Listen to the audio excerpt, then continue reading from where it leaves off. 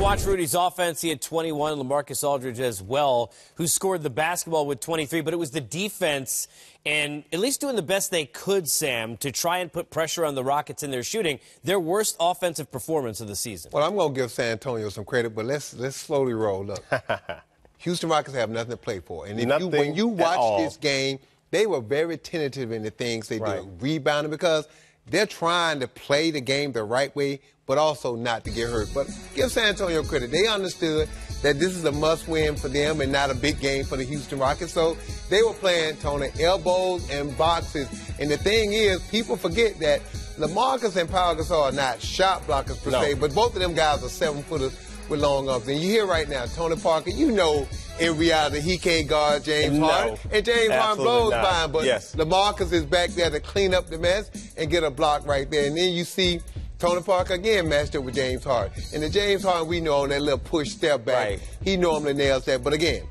the Houston Rockets are playing not to get hurt, and the San Antonio Spurs are plan to make the playoffs. And I have to, have to key in on all the things you said, especially about the boxing elbows, but also in order to play a good defensive team or a good offensive team like the, the Houston Rockets, you got to make sure you get back. You have to run back. Can't be jogging next to you, man. You have to sprint back and you have to sprint back to the three-point line and make sure you match up to those guys. Also, they have long, athletic guys that can switch with them on the perimeter, and when they drive to the basket, like I said, they have rim protectors, but you have to be able to guard your man individually, close out on shooters, and when you close out, you got to have your hands up, and when they drive, collectively the team has to step in, and then, like I said, you have to have, have your hands up.